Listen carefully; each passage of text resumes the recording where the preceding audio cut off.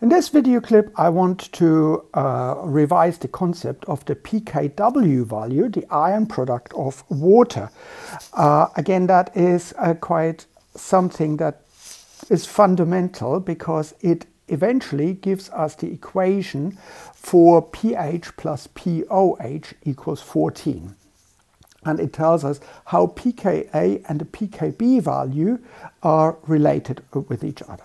So let's first of all simply write down uh, a reaction with an acid. So an acid plus water gives uh, a proton or H3O plus plus the conjugate uh, acid and we said we can write for this Ka the um, equilibrium uh, is given by the equilibrium constant and the concentration of H3O plus times the concentration of the base divided by the concentration of the acid and usually we don't write the water because it is uh, in here. Um, we can also write the equation for the base. So uh, the base plus water in the equilibrium gives us the conjugate uh, acid plus OH minus. And we can write Kb in this case equals concentration of the acid times the concentration of the OH minus divided by the concentration of A minus, and again the water is included here. So now let's do something a little bit uh, funny. Let's just simply say what gives, what would happen if we multiply Ka times Kb? What does that give us? So let's just simply uh, follow our equations. So for Ka, I write H3O plus times A minus divided by HA. So that's my Ka.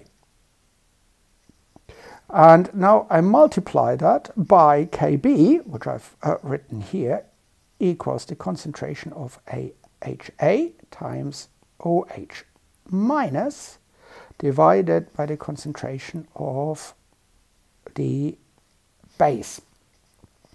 And what I see now is that actually HAs cancel out, A minus cancels out.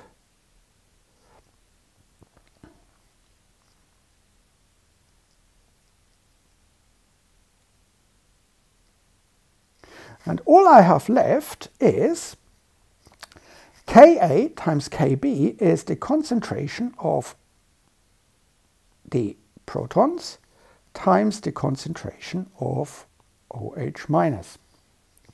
Now we know that in water the concentration of the protons in pure water the concentration of protons is 1 times 10 to the minus 7 molar and that is uh, exactly the same concentration of the OH minus so that's 1 1 times 10 to the minus 7 molar.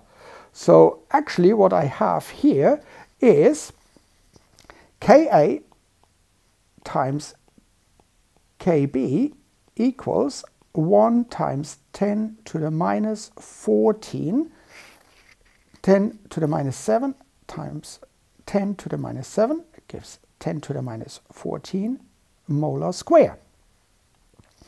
Now I can also rewrite this uh, in that I take both sides of the equation minus log to the basis of 10 and I get minus log Ka plus minus log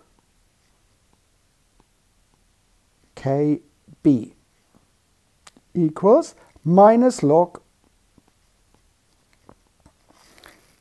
10 to the minus 14 and in this case I can't do a unit but uh, the unit is uh, included here. So let's see what this is. Now this actually minus log Ka we know that this uh, can also be written as pKa plus minus log kb is pkb equals negative log of 10 to the minus 14, that is 14.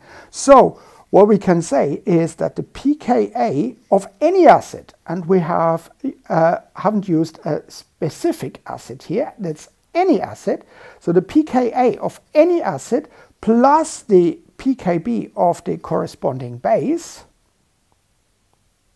acid, plus the pKb of the conjugate base is always 14. So if we know the pKa of an acid, we can, with this relationship here, we can very easily figure out what is the pKb and vice versa. So that also explains why we have pH of uh, a solution plus the pOH of a solution uh, always adds up to 14. And that is where this magic number of 14 comes from. Now it's important that this relationship only works if we are dealing with uh, water as a solvent. If we use a different uh, solute, uh, a different environment, then this relationship obviously uh, would be different because then our proton concentration and the OH minus concentrations uh, probably would be very dif different. I hope this makes sense and uh, thank you very much for watching.